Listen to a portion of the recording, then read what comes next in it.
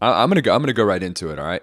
So we're we're talking about Drive, 2011, directed by Nicolas Winding Refn, based on a 2005 novel Drive by James Sallis. Not sure if you knew that. Nicolas Winding Refn, his credits before this one, the most relevant, I guess, would be Valhalla Rising and Bronson, which is a really solid, um, kind of unrecognized, underappreciated, I think, film starring Tom Hardy. Drive stars Ryan Gosling, Carey Mulligan, followed up by Albert Brooks, Oscar Isaacs, Christina Hendricks, Ron Perlman, Bryan Cranston. $15 million budget on this movie, which shocked me when I read that. 80 plus million dollar gross. So nice little profit there. Um, yeah, I'm going to go into it, man. This is your first time seeing it. What'd you think? Well, Carey's last name is definitely appropriately named. She is a mulligan in this movie. Oh, um, oh man, I don't know why they picked her, you know, to be with SA, you know, Oscar. Yeah. I want to hear your. Uh, let's get your review first because it, it, might, you know, save my review from it, which is not going to be as bad as you think. It's just going to be uh, what it is. Uh, you go. You tell me what you think. I want to hear your insights. I know it's it's your baby, somewhat. Uh, go for it. I, I wouldn't go as far as to say it's my baby. I, I love the movie. You know what I like about it is obviously we we and we talk about this, you know, probably ad nauseum on other episodes, but with the constant shitting of superhero movies in the theaters now, which I'm not into for the most part, this is a fucking superhero movie. It's a modern day, real life superhero movie, and that's what I love about it. And I think, uh, from what I read, Ryan Gosling had his pick of a few franchises like Marvel related, DC related probably. He passed on all of those and he went with this because he he believed in this story and he believed that this was sort of a superhero movie that he wanted to tell the story of. Um, and I, I really just I, I think that is so admirable for like an actor of his caliber to pass up on the money and go for something like this. Um, I just think it's really well done. It's really interesting. Uh, it keeps your attention the entire time from the first frame. It's action packed and tense. Yeah, I just love the unique nature of the entire story. I've never read the book, which I, I, want to. Actually, I didn't know the film was based on a book until today when I did a little bit of research, but I'm interested to see what that's about. Yeah, I actually saw them in the rolling credits. It said based on the book from. I was like, huh, interesting. Yeah. I'd be curious to see if it's actually like a graphic novel or a long form book or a short novel. It'd be interesting to see what kind of mm-hmm. book would come out of this because the premise is pretty simple. Um, sure. Yeah. So I'm, I'm curious how they can bring it out.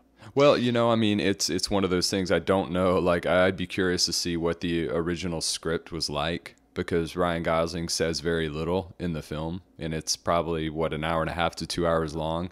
He may have what four or five pages of dialogue total. Um, I don't know, man. I mean, to be able to pull that off, which I think he really did, is it, it takes a pretty special actor. And I also read that Hugh Jackman was originally attached to this, and for whatever reason, it didn't work out and they went with Ryan Gosling. I don't know if he was a backup or you know they preferred him, whatever. But um, kind of interesting to think of what what movie it would have been like, or what the film would have been like if Hugh Jackman had been in it. I think it would have been completely different. Yeah, Gosling's an exceptional actor. It's why I was happy to watch this, um, and he yeah. does well in this. It's not I don't think the film gives them the creative freedom to do what Michael Shannon did in Take Shelter, mm-hmm. where I feel that was a tense movie and I was captivated from beginning to end and it had a payoff. This one I was sort of captivated. There was enough action. There was definitely it was definitely tense. You're right about that.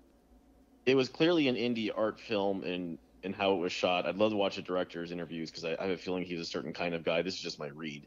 Because some of the some of the sequences were overlong they didn't need to be like that. Yeah, you'd probably argue differently. The long shots, you know, the the hallway tracking, the corners, the the pauses, and you almost feel uncomfortable with the pause, and you're wondering what's going. And then it comes next, right? But mm-hmm. there's so much of it. I felt there's tense, like I said, which Take Shelter does, and it's a very slow movie. And I feel like, and this one I was kind of, um, I didn't get bored, but I was like, okay, I, I almost again I got close to fast forwarding it.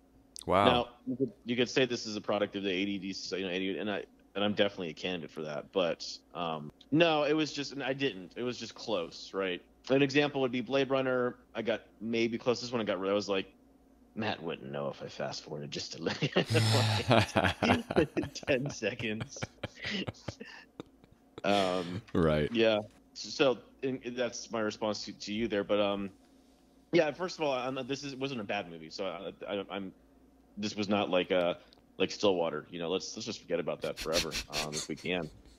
Um, no, it was it was it was good. We'll, we'll do the you know obviously rating at the end. There was a lot of interesting. One thing that you said about Hugh Jackman, which was interesting, is one thing I didn't buy. Um, and the superhero angle, by the way, is interesting. I didn't think of that. That's that is cool. You you can kind of see that, you know. Mm-hmm. Um, he's in the elevator with the one goon who's clearly two, three, four inches taller than him, probably twenty five pounds more muscle. Um, there's a few. I wish he were bigger. I wish Ryan Gosling was a little more jacked for to, to justify some of his badassery. Mm-hmm. Um, minor gripe. Yeah. Um, I get what they're doing with Carey Mulligan and like because here's how it would work in the perfect script. The perfect script. Oh, I didn't want Oscar Isaac to come back at all. Right. I, I, I'm done with him. He's a piece of shit. I want you, Ryan Gosling. And then the love triangle is shot. Right. Well, it still exists, but it's, it's pretty easy to deflate. They didn't choose to do that. They chose to show she still had lingering feelings for the father of her child. Um, they have that scene where they're reminiscing about how they met, and it's uncomfortable for Ryan Gosling, and, and you almost wonder why he's there. Um, and I know, I think the director's doing that to show the reality of life, right? Like it's not like the movies where everything just works perfectly. And ironically, I kind of wish it would have because I was just, I don't know, it it it does it, it makes it harder for the payoff, right? Because then I don't want to say I use this word probably too much in our podcast, but it's kind of cuckoldry. But it is strange that your love interest is there, then the husband's right there, and, and like you're still sticking around and you, you basically put your life on the line for this girl, but she still kind of has feelings for someone. It's not like it's all for you. They don't indicate that Ryan Gosling's the winner of this game, right? It's probably like a what, 70 30, 60 40? I don't know. It wasn't all to him, I don't think. What about you? I think that's part of the charm of it. Personally, I think it's I mean, essentially they just have a crush on one another they don't ever push any boundaries there, and I think that's kind of an interesting dynamic in in like this sort of this sort of setting. And I also think it probably appeals widely for the sake that Ryan Gosling's in it for this uh, actress Carey Mulligan and her character to be in the position she's in. I'm sure it plays into a lot of female fantasies. I would assume. Yeah, the kind of like better option, but you're married and he's there, and, and it's it's actually you know yeah, so I mean, so maybe it's pandering to that audience, but I mean, that's essentially what what films are, right? I mean, they have to like reach out, uh, pull people in, and get people into it, and that's one way to get, I think, a straight female audience into it is had that lead female character be in the position that she's in. Yeah, it was interesting. Uh, again, I don't think I think she did her job. Uh, I'm not going to give her like some rave reviews, and again, this is where I, am also trying to be sensitive to the script. There wasn't a lot to give her. Yeah. You know? This shows that hopefully my objectivity because I know Oscar Isaac is is a big. I'm sure the producers love him up in the, I don't know, corrupt Hollywood, you know, bureaucrats, whatever. He gets but a lot like of work, Oscar, man. Yeah, I like Oscar Isaac a lot. I, I, do. He was unfortunately in Star Wars. God, the second one that they came out with. I, I like him. I have. Um, I even liked him in the Bourne, uh, uh, the one with um, Jeremy Renner. Oh, I didn't know he was in that. Okay. Bourne Legacy. Yeah. Man, yeah, he's I, been I like a lot. Wow. I do. Okay. Um, anyway, so I mentioned him because actually his performance did kind of stand out to me. I, I liked Oscar Isaac. Then everyone else did really good. Bryan Cranston, all the other support cast. I can't stand Ryan, Ron Perlman. Um, I really can't. I have a hard time watching him. Um, wish he wasn't there. Everyone else though did really well. Like again, Bryan Cranston had a small role, but he made it big. Yeah. Um, I liked him a lot, That's and nice uh, I like how he he played. It's really he, he plays the fuck up well. Again, like when he gets the money, the first thing he asks him is like, you know, how much money are we talking here? And he's like, just don't, you know. Yeah. He's like, just don't. But he can't help himself. That's he's he's a shyster. He's a a weasel. It's who he is, and he plays it so well. Yeah, for sure. Yeah, and it's interesting to see Albert Brooks in a role like this. I mean, he doesn't do much. I'm I'm curious as to why he came out of like a semi-retirement to to be in this movie and play the top bad guy. Yeah, he was interesting too. The the murder scene. Um, I like that. Too. I do like the brutality. Yeah. I don't quite know why. I guess I, did, I didn't think they'd go there, but yeah, when like Gosling takes the pole and shoves it out down that guy's neck or whatever, I'm like, nice, nice. Yeah, man, it's pretty unforgiving for what they give. And if that fucking scene in that hotel, man, with the girl, she's in the bathroom looking in the mirror, like Jesus, yeah. oh my yeah, god, it's brutal brutal. Yeah. and in the elevator like and yes i i do agree. And this happens in so many movies. I, you know actors usually are smaller right? I mean that's just the way it goes.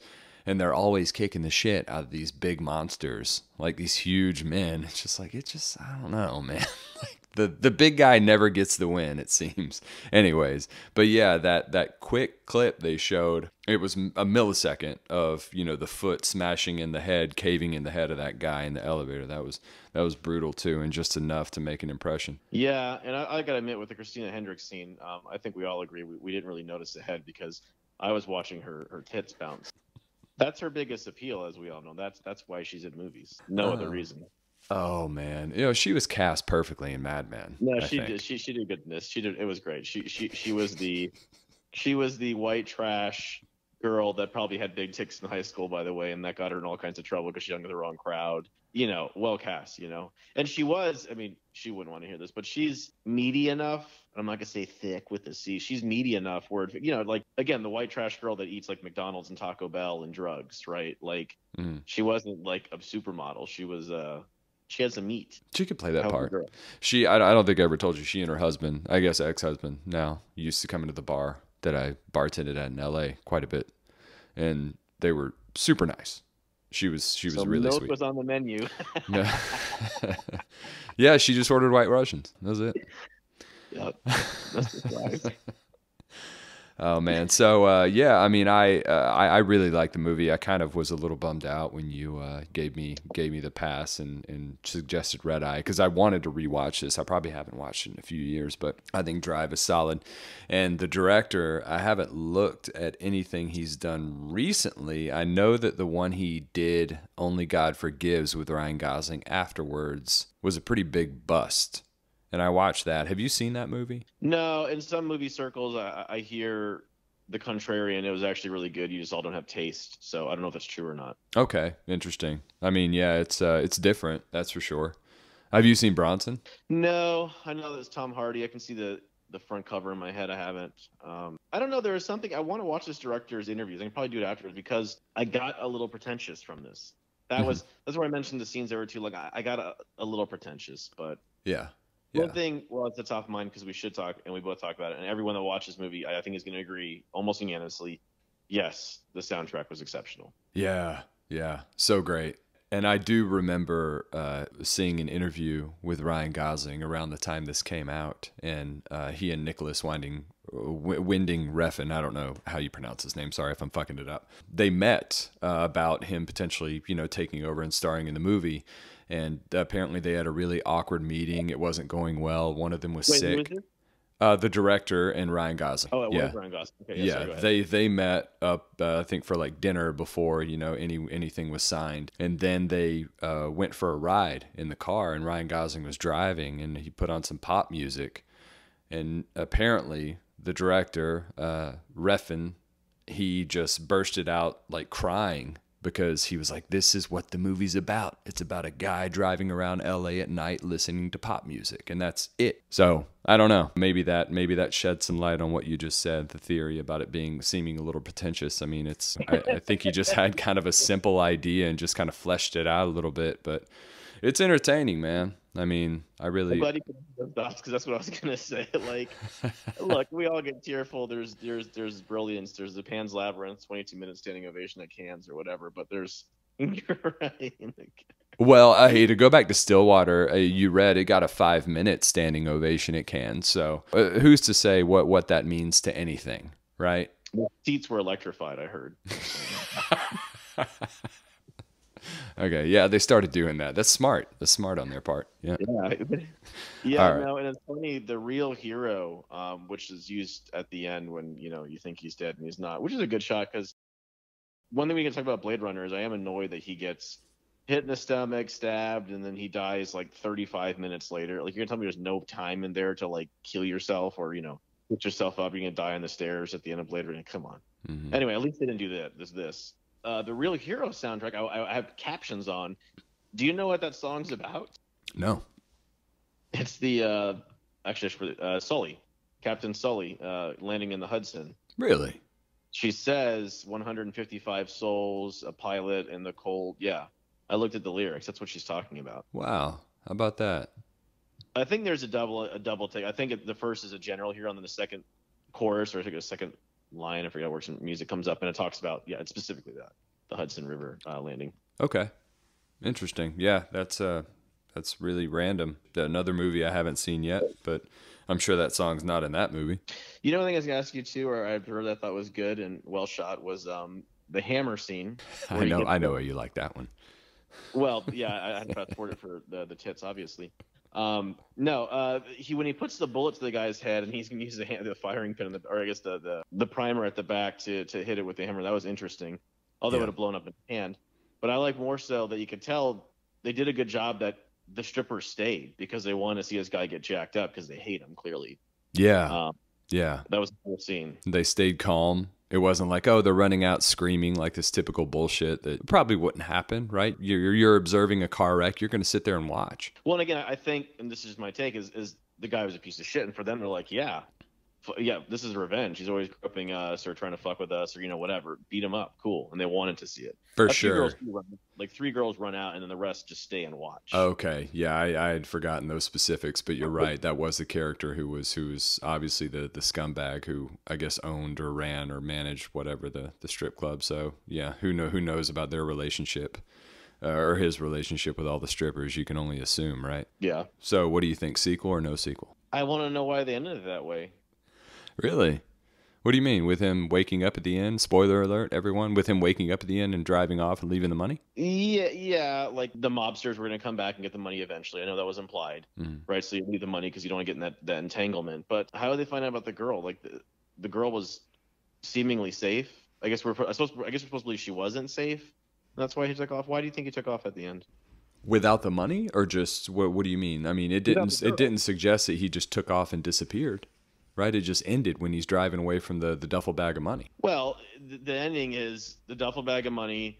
Uh, Carey uh, Mulligan face walks up to his apartment, you know, knocks on it. He's not there, and then they show him driving away. I think the implication is she goes his way, his, he goes his way. Why? If it wasn't, then show him opening the door, show him walking down, you know, uh, wounded, and, and, give her a hug or whatever. Why they end it that way? I, I didn't quite. I get why they could have. I'm curious what you think they did end it that way. I think maybe uh, from a character standpoint, he was leaving to take any danger that might be associated with him away from the kid and the girl. Yes, and that's what I'm saying. Like, I guess we're supposed to believe he'd always be driving, right? He, like, like the guy says, he'd always be looking over his shoulder. I don't want to make it seem like an idiot. I missed that. I just, I don't know. you know, seemingly like, like what, what threat, right? Existential threat. Like the, the, the, the actual real threat left would be the Eastern mob, which that's their money, which he left mm-hmm. and walked away from. So I guess that would be it. You know, I don't know. I, would I would like the happy ending. Maybe I'm a a, a normie. Uh, yeah, I, I like the more open ended. You know, not not tying up the loose ends kind of thing. That's that's what I prefer. I think it just it it makes a movie more interesting. But I guess that's just me. Yeah. Okay. So yeah, what do you uh what are you rating this one on a on a scale of one to ten? What do you got? Seven two five. That's pretty good, man. That's not bad for you. Okay. I'm going 7 9 on this one. Almost an 8, which is a big okay. score. Yeah. Yeah, that is one of your better scores. Yeah. I think you're actually more brutal so far, or score more, I guess, uh, precise, whatever. Can't even find the word. Um, picky with scores than I am. Yeah. Well, I want, I want, excuse me, I, I want to get to that, you know, that perfect, that perfect film. And we've already done one that's pretty close to it. Uh, who knows if that'll come out before or after this? But yeah, it's you got to set that bar pretty high. Yeah. Well, you do with me. I can do with you. Anything else? Drive, follow up, scenes, stuff. You know, nuances.